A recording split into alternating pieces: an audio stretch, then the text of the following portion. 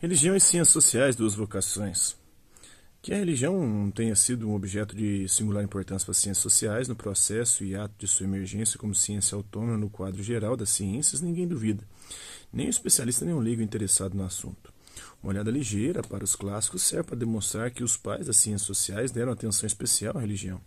Não para fazer teologia ou espécie de especulação metafísica, ao contrário, para relacionar religião e sociedade, comportamento religioso e teoria social, enfim, tudo dentro de um esforço honesto de compreender a sociedade moderna e dar a tal compreensão caráter científico, desenvolvimento lógico e argumentação racional.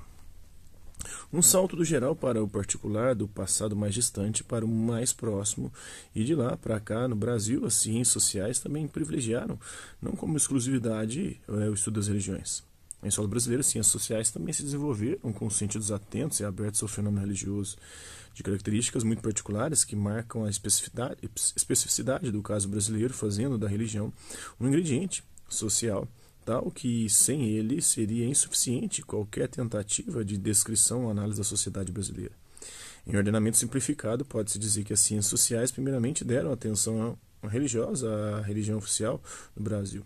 A Igreja Católica Apostólica Romana que permaneceu na condição de igreja do Estado até a Constituição Republicana, com a chegada dos, de pesquisadores estrangeiros às chamadas missões estrangeiras, das quais a francesa especialmente ficou responsável pelas humanidades, e com a formação das primeiras gerações de pesquisadores intelectuais autóctones, ou seja, nascidos aqui no Brasil, influenciadas pelo, pelos mestres estrangeiros, os sentidos se voltaram para outro fenômeno, mais exótico tanto do ponto de vista estético como do acadêmico, as religiões de matriz africana e suas implicações com o Brasil e sua gente.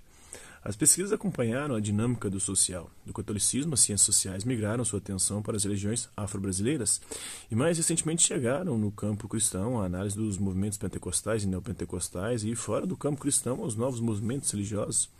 Uma coisa é certa, quando se fala em catolicismo no Brasil, muita gente, para não dizer todas as pessoas depois de certa idade, sabe do que se trata. Quando se fala de movimentos cristãos fora do catolicismo no Brasil, uma espécie de confusão terminológica e conceitual instaura-se. Classificar é preciso, mas sempre muito difícil. Classificar é equivocar-se sempre, ou melhor, é ser parcial, pois um modelo de classificação exclui outros tantos da mesma maneira legítimos. Classificar religião é também sempre muito complicado, pois o rótulo simplificador não dá conta de aprender toda a complexidade do real. Segundo Antônio Gouveia Mendonça, quando a gente faz uma proposta de classificação, é preciso dar o critério dessa classificação. E é claro que a escolha de um, de um significa a exclusão de outros critérios tão válidos e possíveis quanto aquele. Um quadro pode ser o seguinte: na dinâmica interna ao cristianismo, depois do cisma oriental em 1054, o grande abalo jamais superado foi a reforma protestante.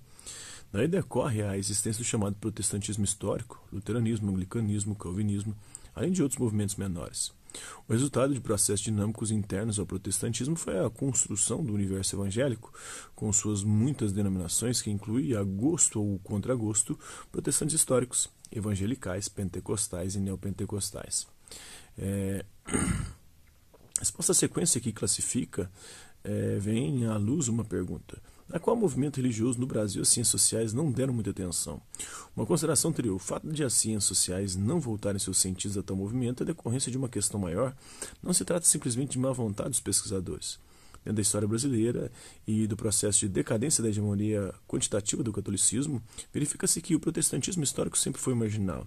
Primeiramente entre o próprio catolicismo e depois em face do pentecostalismo e neopentecostalismo. Os trabalhos de pesquisa acerca do protestantismo histórico por décadas no Brasil ficaram restritos a esforços próprios protestantes que confundiam, consciente ou inconscientemente, ciência e religião, posto que escritos por religiosos cientistas os seus teóricos eram propagandistas, missionários, evangelísticos, proselitistas. A historiografia, especialmente, mas também a sociologia, a antropologia e outras ciências humanas estavam colocadas a serviço da religião e da fé, sem método respeito ao funcionamento próprio das ciências. A tendência mudou, de forma significativa, quando religiosos, teólogos de formação em sua maioria, tiveram a chance de fazer ciência da religião no campo acadêmico universitário, reconhecido como tal. Com a abertura dos cursos de ciência e religião no Brasil, nas universidades confessionais, cresceu o número de trabalhos acerca de religião, o que parece óbvio.